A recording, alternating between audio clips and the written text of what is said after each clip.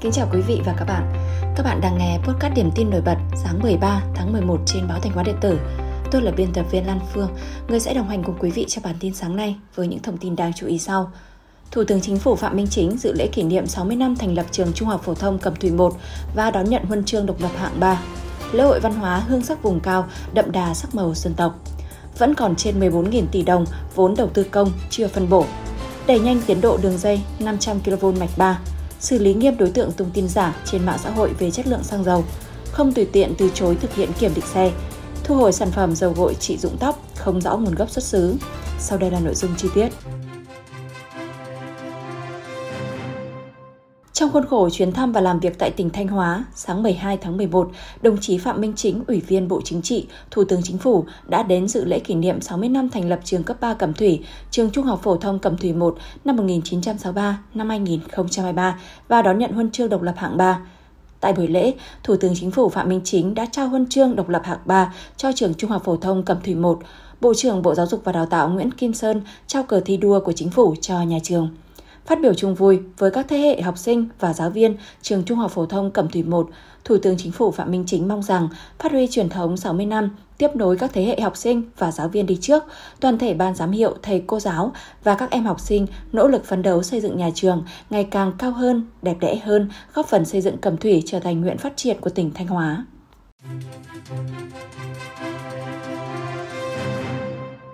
Liên hoan văn nghệ dân gian phiên chợ vùng cao và lễ hội văn hóa hương sắc vùng cao năm 2023 diễn ra từ ngày 11 đến ngày 13 tháng 11 tại huyện Thường Xuân với sự góp mặt của các nghệ nhân diễn viên chuyên và không chuyên đến từ các huyện miền núi của tỉnh và huyện Sầm Tớ, tỉnh Hủa Phăn, nước Cộng hòa Dân chủ Nhân dân Lào. Lễ hội đã tái hiện không gian văn hóa đậm sắc màu các dân tộc vùng cao, kết hợp giữa không gian hội trợ, vui chơi gắn với các hoạt động dân ca, dân vũ, trò chơi dân gian, ẩm thực, sản vật, với sắc màu của các dân tộc thuộc 11 huyện miền núi của tỉnh.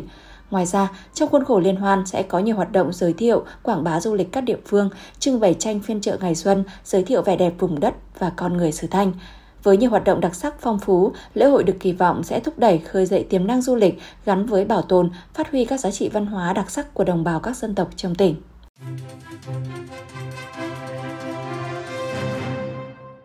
Chỉ còn hơn 2 tháng nữa là kết thúc niên hạn giải ngân vốn đầu tư công năm 2023. Tuy nhiên hiện vẫn còn hàng chục bộ ngành và địa phương chưa phân bổ hết nguồn vốn đầu tư công, ước tính lên tới trên 14.000 tỷ đồng. Theo báo cáo của Bộ Tài chính, hiện còn 22 bộ cơ quan trung ương và 31 địa phương phân bổ chưa hết kế hoạch vốn đã được Thủ tướng Chính phủ giao. Không chỉ chậm phân bổ nguồn vốn, nhiều cơ quan địa phương cũng xin trả lại vốn đầu tư công dù đã được bố trí. Nguyên nhân chính vẫn nằm ở yếu tố chủ quan nên dẫn đến nghịch lý, nhiều dự án cần vốn để đầu tư lại không có nguồn. Trong khi đó, nhiều dự án có vốn nhưng lại khó khăn trong giải ngân. Việc không kịp thời giải ngân theo kế hoạch sẽ tác động không nhỏ đến tăng trưởng cho nhiều vùng, nhiều địa phương.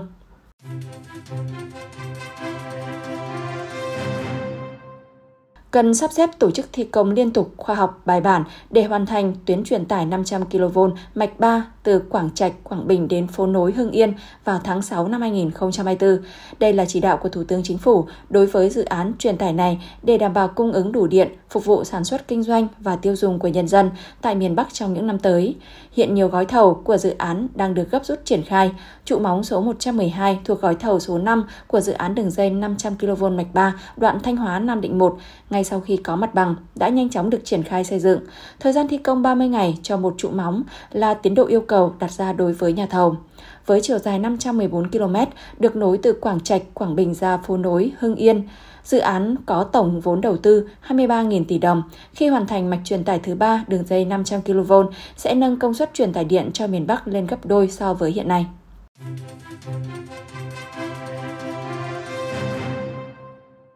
Cơ quan Cảnh sát điều tra Công an huyện Hoài Đức, thành phố Hà Nội đã triệu tập chủ tài khoản Facebook mang tên Nguyễn Viết Tuấn Anh để làm rõ hành vi có dấu hiệu lợi dụng mạng xã hội để vu khống, xúc phạm danh dự, nhân phẩm của người khác và làm rõ trách nhiệm của quản trị viên nhóm From Sơn Đồng và Sơn Đồng 24 giờ. Trước đó, chủ tài khoản Nguyễn Viết Tuấn Anh đã đăng thông tin trên hội nhóm mạng xã hội phản ánh một doanh nghiệp bán xăng lậu gây thiệt hại cho tài sản của người dân ở một số xã quanh khu vực Sơn Đồng. Bài viết có nhiều bình luận tiêu cực gây hoang mang cho người dân ngay sau khi có thông tin, các lực lượng chức năng thành phố Hà Nội đã cử cán bộ xác minh tại cửa hàng xăng dầu và không phát hiện dấu hiệu bất thường trong chất lượng xăng dầu bán ra. Các đơn vị cũng chưa nhận được phản ánh nào của người dân về phương tiện bị hư hỏng do đổ xăng dầu tại cây xăng Sơn Đồng.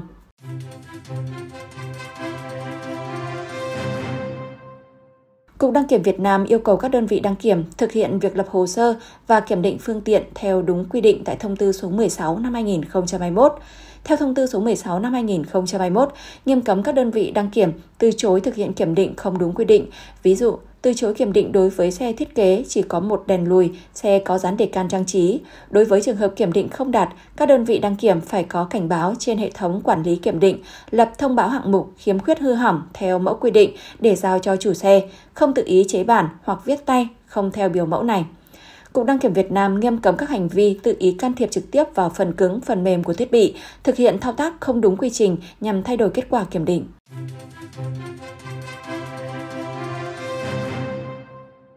Sở Y tế Thanh Hóa vừa có công văn gửi các cơ sở kinh doanh sử dụng mỹ phẩm trên địa bàn tỉnh về việc thu hồi sản phẩm dầu gội Maudut trị dụng tóc không rõ nguồn gốc xuất xứ.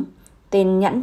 trên nhãn ghi nhà sản xuất Morut Care Cosmetics Canada, nhập khẩu và phân phối Nam Phát Cosmetics, địa chỉ lô 9, khu đô thị Hòa Vượng, thành phố Nam Định. Lý do thu hồi sản phẩm dầu gội Morut chỉ dụng tóc không rõ nguồn gốc xuất xứ và trên nhãn sản phẩm ghi tính năng công dụng sản phẩm không phù hợp với quy định về tính năng sản phẩm mỹ phẩm. Sở Y tế giao Trung tâm Kiểm soát Bệnh tật tỉnh Thanh Hóa phối hợp với các cơ quan truyền thông thông tin tới các cơ sở buôn bán, sử dụng mỹ phẩm và người dân biết để không buôn bán sử dụng sản phẩm dầu gội nêu trên.